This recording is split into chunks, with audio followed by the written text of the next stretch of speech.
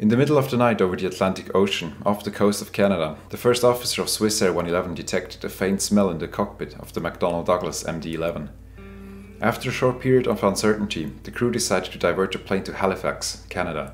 But just 21 minutes later, the massive airliner impacted the ocean just off the coast near Halifax, after declaring Mayday in a distressed tone. What happened to the flight? Today, we are going to find out one of the most extensive air crash investigations ever discovered. Subscribe if you liked the video. Welcome to Airspace.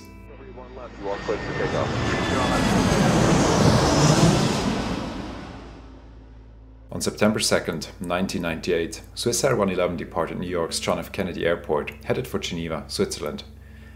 The seven year old McDonnell Douglas MD 11 was piloted into the night by 50 year old Captain Zimmermann and 36 year old First Officer Löw.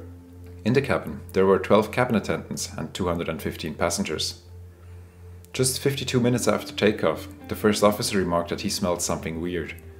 The crew started to look around, and seconds later, the captain remarked, Oh, look, probably referencing to something he was seeing, which would probably have been smoke.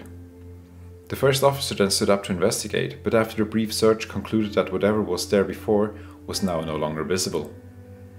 The pilots then summoned a flight attendant to the cockpit and asked her whether she was smelling something unusual.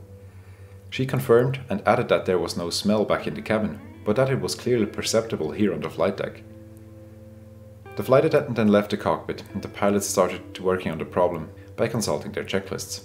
As they suspected smoke from the air conditioning, they started to work the respective checklist. A minute later, smoke again became visible on the flight deck, and the two pilots realized that something was clearly amiss. They decided to divert the plane and to land as soon as possible, declared Pan Pan, which is an urgency message, one step below Mayday, and requested to divert back to Boston, which was 300 miles behind them at the time. The air traffic controller immediately cleared them to Boston, but suggested Halifax as an alternative, which was just 60 miles ahead of them. The crew gladly accepted this suggestion. At this point, the pilots donned their oxygen masks, but realized that they would not be able to fly an approach directly into Halifax, since they were still too high and already too close, and required a greater distance to descend. Also, the plane was still over its maximum landing weight, since only about an hour had elapsed since the departure from New York. The crew now considered to jettison the excess fuel to reduce weight and requested to do so via radio. The first officer was flying the plane at the time, while also handling radio communications, since the captain was busy with the air conditioning smoke checklist. In the meantime, the smoke got thicker and thicker. At 22.23 local time, the checklist directed the captain to switch off the cabin bus switch, which would cut the power to various electrical power appliances in the cabin, such as the galley, the normal cabin lighting, and the recirculation fans that help ventilate the cabin. This was done in an attempt to cut power to possibly faulty equipment. This later proved to be a turning point in the sequence of events. Not even half a minute later, the autopilot failed, and the plane warned the crew of this fact with a very distinctive aural warning. Autopilot Multiple systems now started to fail one by one, and the pilots urgently declared Mayday and that they were now dumping fuel. In a following radio transmission, they were cut off mid sentence, but the plane continued to fly.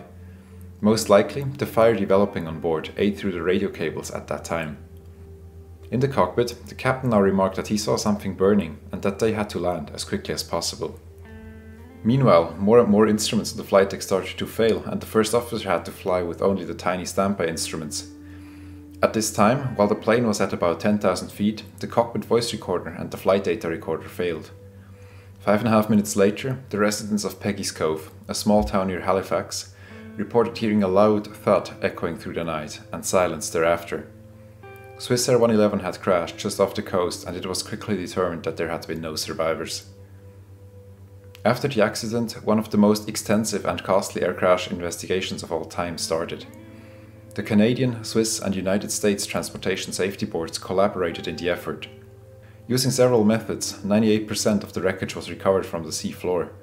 This must have been a tremendous effort, since the aircraft broke up into over 2 million pieces that partially settled on the 55 meter deep sea floor or were washed ashore. From the get go, it was clear that smoke or fire would have been a factor in the crash, so the investigators focused on parts that were showing traces of fire. And sure enough, they found burnt material belonging to the flight deck and the aircraft ceiling, called the attic space, which is a space between the aircraft skin and the cabin interior, where the insulation is and a lot of electrical wires are routed. The fact that the flight data recorder and the cockpit voice recorder had failed before the impact made the investigation a lot more complicated. To the amazement of the investigators, they found a lot of burned insulating mats, which was astonishing because these mats were certified to be fire retardant. When they subjected these mats to heat and flames, they were baffled to find out that they burned quite easily and that once ignited they could even spread a fire. Now that they had found the material that had burned, the search for an ignition source began. For that, the investigators rebuilt the cockpit as well as possible, using wreckage parts. They managed to find out that the fire had started in the top right corner of the cockpit, where many wires ran together behind a panel. Next, they examined the 250 kilometers of wire that were installed in the MD-11. Not all wires could be identified, but the culprit was eventually found. A wire of the in-flight entertainment system that had been recently installed was found to have arced. Arcing occurs when voltage is able to bridge an air gap between two conductors. In the case of Swissair 111, arcing took likely place between this in-flight entertainment power supply wire and the aircraft structure. This arc then ignited the insulating mats. The cabin recirculation fans provided a rearwards flow of air that sucked the flames further towards the aircraft's tail in the attic space of the MD-11. The smell produced by the burning was likely perceptible on the flight deck, but initially no smoke was seen since it was sucked back into the attic space as well. When the captain switched off the cabin bus switch, and with that the cabin recirculation fans, the airflow in the attic space reversed, since air was now being sucked forward towards the cockpit by the fans used by avionics computers and so on. Now the flames quickly started to engulf the wiring in the overhead panel of the aircraft and also the attic space, which led to the failure of several electrical systems and filled the flight deck with smoke quickly. One by one, systems failed and the pilots were eventually left without normal instruments, only with the backup systems, and the autopilot warning blaring in the background. It could no longer be switched off, since the connections to the respective switches had most likely melted at this point. In the end, the fire broke through the cockpit ceiling and plastic started to drip down. Burn spots and molten plastic were found on the carpet behind the pilots. In the end, the plane either became uncontrollable or the pilots lost all reference in the dark night over the dark ocean, and the plane crashed at half the speed of sound. It disintegrated immediately, and all occupants apparently died instantaneously. None of the victims but the pilots showed signs of smoke inhalation, bearing evidence to the fact that the fire was most likely only perceptible on the flight deck. The investigation determined that from the time the first officer smelled the first sign of smoke, there would have not been enough time to make it to any airport. Also, the smoke checklist of the MD-11 at the time did not state clearly enough that signs of smoke immediately warranted the declaration of an emergency situation and that landing should not be unduly delayed.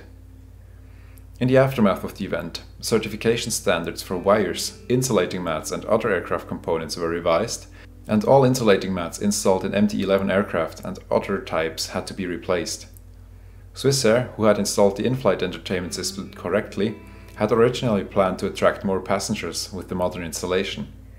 The company was in financial trouble at the time, and that only got worse after the crash. After the events of 9-11 in 2001, the company eventually went bankrupt. It was reformed to the now successful Swiss International Airlines. Also, smoke and fire checklists for various aircraft were changed to reflect more prominently that signs of smoke usually prove a significant threat and that a landing should immediately be planned.